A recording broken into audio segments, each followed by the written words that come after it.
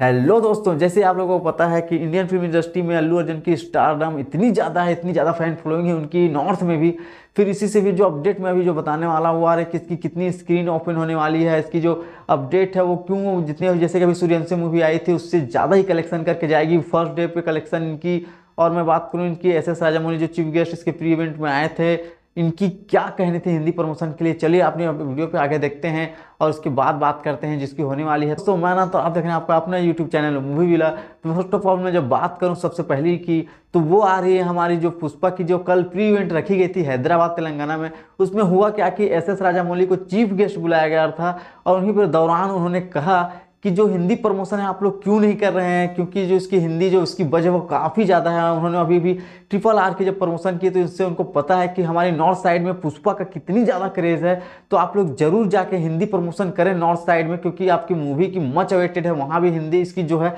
वो काफ़ी ज़्यादा बज है। आप लोगों को वहाँ पर जाके प्रमोशन करना चाहिए।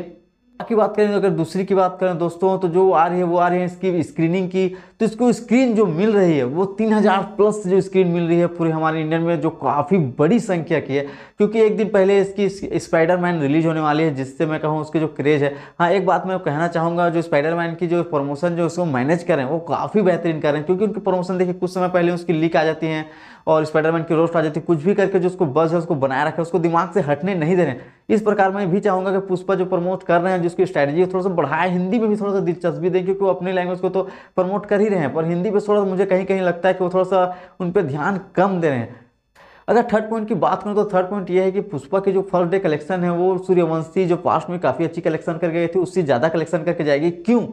क्योंकि सरप्राइजलिंग जब एक दो दिन पहले ऐसे टेस्ट करने के तौर पे उन्होंने एडवांस बुकिंग ऑन की थी तेलुगु में तो वहीं से 58 लाख अंठावन लाख रुपए की प्री बुकिंग एडवांस हो चुकी है, जिससे उन्होंने इसका क्रेज देखकर उन्होंने होश उड़ गया, क्योंकि जो तो जिसमें सोच रहे थे एक्सपेक्ट कर रहे थे उससे ज़्यादा ही उनकी कलेक्शन की गई वहीं से। उसके बाद तो इसे ऑल पैन इंडिया में मुझे रिलीज़ किया जाना है तो उसके हिसाब से उन्होंने देखा तो ये फ़िल्म काफ़ी ज़्यादा इसकी क्रेज है। इससे ही जो माना जा रहा है कि जो इसकी फ़र्स्ट डे है, वो कलेक्शन ऑल इंडिया में हमारे का अगर चाहें तो ये 50 से 60 या 65 करोड़ का लमसम कलेक्शन कर जाएगी। अगर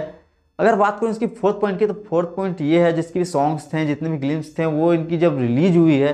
तो हुई ही कि मैथिली में उसके बाद उसे कल ही या एक दो दिन पहले हटा दिया गया है, जिसके कारण से सभी को लग रहा था कि हिंदी में क्या होगा, पता नहीं हिंदी की जितनी सॉन्ग्स हैं उसे क्यों हटाया गया है। जितनी भी अपडेट्स होंगी हिंदी की वो टी सीरीज़ पे आएगी गोड्स माइंड पे तो जो आई ही आएगी, क्योंकि उसकी कॉपी है मगर मैं कहना चाहूँगा ये जितनी भी मतलब कि सॉन्ग्स वगैरह सब टी सीरीज़ पर प्रमोट की जाएगी कि अच्छे लेवल पर दूर तक फैले, क्योंकि आप लोगों को सभी को पता है कि टी सीरीज़ की जो सब्सक्राइबर हमारे इंडिया में सबसे बड़ी चैनल है वो आप लोगों की न्यूज़ कैसी लगी और बने रहे हमारे चैनल पे, लाइक करें शेयर करें सब्सक्राइब करें दोस्तों और बने रहे हमारे चैनल पे। दोस्तों